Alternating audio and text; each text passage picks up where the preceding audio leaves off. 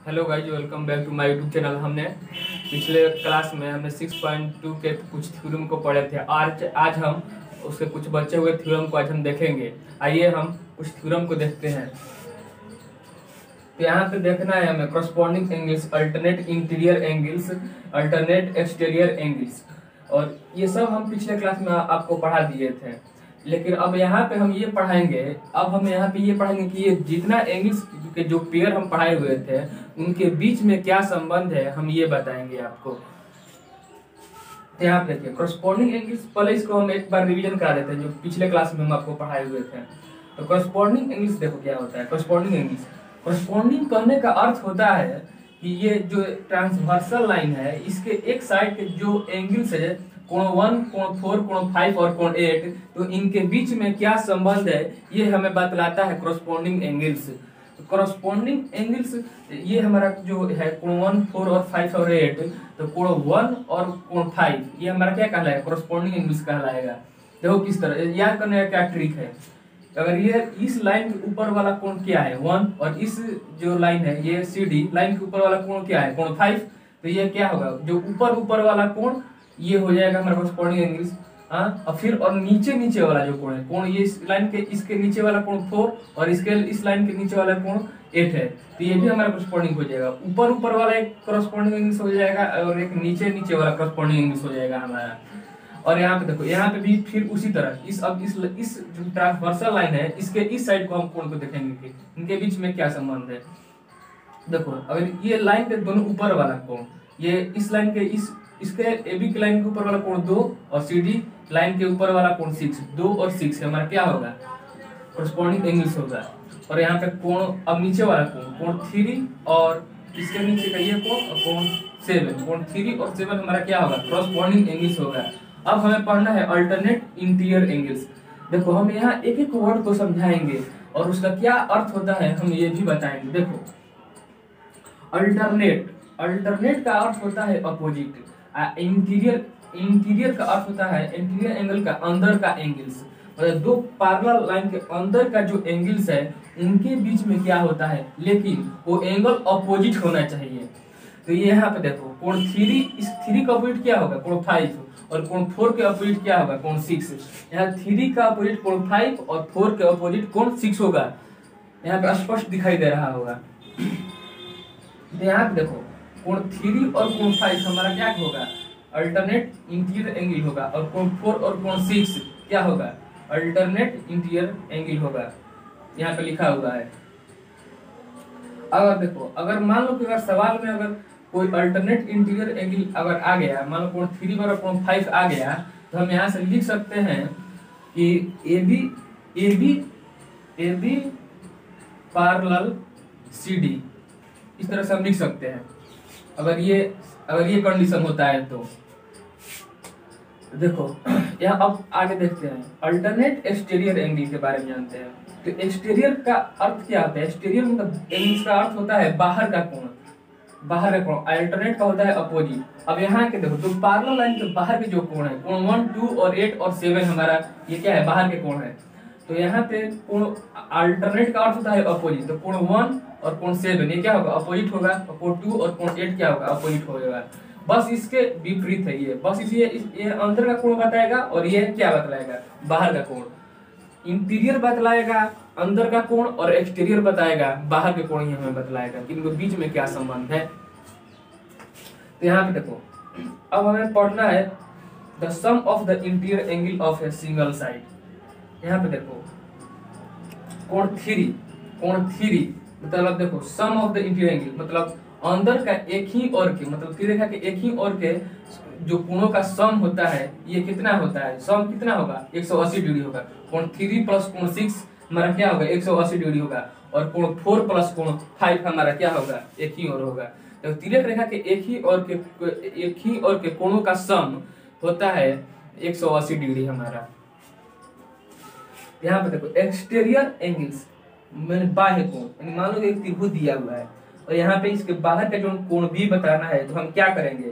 कोण, दो कोणों का सम, जो ये दो कोण दिया हुआ है, इसके अंदर के दो कोणों का सम, हमारा सम ही ये बाहर वाला कोण होगा। तो यहाँ पे तीस और पैंतालीस हमारा हो जाएगा पचहत्तर डिग्री। ये है क्या होगा? पचहत्तर डिग्री ये हमारा बाह्य कोण होगा। ये कोण सी बी डी हमारा क्या होगा? बाह्य कोण कितना आ जाएगा? पचहत्तर डिग्री। तो अब देखो, ये सब तो करस्पॉन्डिंग अल्टरनेट एंगल और अल्टरनेट एक्सटीरियर एंगल के बारे में हमने पढ़ा दिए थे। तो अब इतना हम तो पहले पहले पढ़ा चुके थे। अब देखो, इसमें का सब पेयर करस्पॉन्डिंग एंगल्स का अल्टरनेट इंटीरियर एंगल्स का अल्टरनेट एक्सटीरियर एंगल का प्रत्येक पेयर आपस में इक्वल होते हैं। और और यहाँ पे देखो, और एक और के जो, एक तिरक रेखा के ट्रांसवर्सल लाइन के एक और के जो कोणों का जो सम होता है, वो होता है एक सौ अस्सी डिग्री। ये क्लियर हो गया यहाँ तक? अब किस तरह से होता है, ये हम देखेंगे। अब पूरा क्लियर कर देंगे अगर, देखो, एक इमेज के तरह से, एक इमेज के थ्रू देखो, यही हम फिगर बनाते हैं, लेकिन यहाँ कोण कोण के जगह, कोण वन टू के जगह पे हम कोण लिखेंगे, जैसे कि कोण तीस डिग्री, चालीस डिग्री, पैंतालीस डिग्री, इस तरह करके लिखेंगे हम।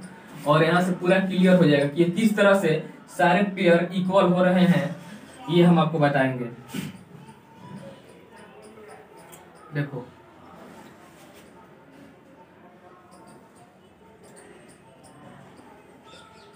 ये ए भी एक दो पैरेलल लाइन हुआ ए बी और सी डी एक इसको ट्रांसवर्सल लाइन काट रही है, एक इसको ट्रांसवर्सल लाइन मान लो काट रही है।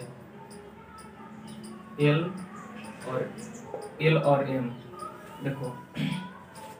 यहाँ पे अगर हम ये कोण पैतालीस डिग्री ले लिए, पैतालीस डिग्री तो देखो तो पैतालीस डिग्री ले लिए तो ये कोण कितना लेंगे? मान लो इसको चालीस ले लिए। चालीस डिग्री। तो ये कोण कितना लेंगे? ये एक रैखिक युग्म से ध्यान रखेंगे कि एक रेखा पे 180 डिग्री का ही कोण बनता है। तो अगर ये 40 ले लिए तो ये कितना हो जाएगा? 140 डिग्री हो जाएगा हमारा। 140 डिग्री हो जाएगा। 140 डिग्री हो जाएगा तो ये कितना हो जाएगा हमारा? से, जब दो लाइन एक दूसरे को इंटरसेप्ट करती है तो उनके आमने सामने का कोण बराबर होता है। तो ये 140 तो ये 140 डिग्री हो जाएगा। और ये उसी तरह से शिक्षा विमुख कोण से ये क्या हो जाएगा? हमारा चालीस डिग्री हो जाएगा। अगर ये 140 है तो ये 100 हमारा कितना हो जाएगा? 140 डिग्री। किस तरह से? अल्टरनेट इंटीरियर एंगल्स इससे यहाँ पे देखो अल्टरनेट इंटीरियर एंगल से हमारा हो जाएगा कोण 40 ये हो जाएगा 140 तो ये भी हो जाएगा हमारा 140 और यहाँ पे देखो, ये हमारा शिक्षा कोण से क्या हो जाएगा? 140 डिग्री। शिक्षा कोण क्या होता है? जब दो जब दो लाइन एक दूसरे को इंटरसेप्ट करती हैं तो उनके आमने सामने का कोण आपस में बराबर होते हैं। तो यहाँ पे चालीस हो जाएगा। और देखो, ये चालीस तो ये हमारा कितना हो जाएगा? अल्टरनेट इंटीरियर एंगल से चालीस डिग्री। और ये शिक्षा कोण से ये भी कितना हो जाएगा हमारा चालीस डिग्री। तो आइए हम, आइए अब हम इसके कंपेयर करते हैं इस सारे एंगल्स को। देखो कोण वन और कोण फाइव ये हमारा ज़रूर इक्वल ही होगा। देखो यहाँ पे देखो, कोण वन और कोण फाइव यहाँ पे है यहाँ पे देखो, इसके सामने। यहाँ पे कोण वन यही ना है, चालीस डिग्री हाँ? कोण ये कोण कोण फाइव ये हमारा कितना है? दोनों। इक्वल है, चालीस चालीस है। देखो यहाँ पे क्लियर हो रहा होगा कि ये दोनों कोण करस्पॉन्डिंग एंगल्स आपस में इक्वल है। और कोण फोर और एट, कोण फोर और एट यहाँ पे है, देखो यहाँ पे कोण फोर और कोण एट, ये भी देखो यहाँ पे इक्वल है। यहाँ से ये इमेज के थ्रू देखिए यहाँ पे। यहाँ पे सब इक्वल ही होगा। करस्पॉन्डिंग एंगल्स इक्वल होता है। इसी तरह से ये सारे सारे एंगल्स आपस में इक्वल होंगे। अब हमें देखना है अल्टरनेट इंटीरियर एंगल्स तो यहाँ पे देखो, कोण थ्री प्लस कोण कोण थ्री प्लस कोण थ्री बराबर कोण फाइव तो यहाँ पे देखो, कोण थ्री यही ना कोण फाइव यहाँ पे देखो ये बराबर है, और कोण कोण कोण फोर प्लस कोण फोर और कोण सिक्स कोण फोर और सिक्स देखो, यहाँ पे भी ये भी बराबर है। अल्टरनेट एक्सटीरियर एंगल देखो बाहर के जो कोण है तो कोण वन और कोण सेवन तो कोण वन और सेवन ये और ये, देखो, ये और ये, देखो बड़ा इक्वल है यहाँ पे, और यहाँ पे कोण टू और कोण एट तो कोण टू और कोण एट देखो, यहाँ पे क्या है इक्वल है हमारा। कंफर्म क्लियर हो गया यहाँ से? और यहाँ पे देखो, एक ही और के अंत कोणों का योग, एक ही और के अंत कोणों का योग, देखो। यहाँ एक ही और के अंत कोणों का योग योग एक सौ अस्सी डिग्री होता है। एक सौ चालीस डिग्री ये होगा, ये और ये होगा हमारा चालीस डिग्री। इसका इसका सम हम सम हम करेंगे तो एक सौ अस्सी डिग्री होगा। देखो किस तरह से, एक सौ चालीस प्लस चालीस, कितना हो जाएगा हमारा एक सौ अस्सी डिग्री। यानी यहाँ पे देखो तिर्य रेखा के एक ही और अंत कोणों का योग कितना होता है? एक सौ अस्सी डिग्री। यहाँ से स्पष्ट हो रहा होगा आपको। और देखो क्लियर हो गया यहाँ से?